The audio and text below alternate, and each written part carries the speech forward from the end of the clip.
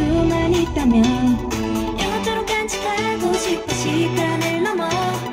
반짝 빛이 나던 느기 전에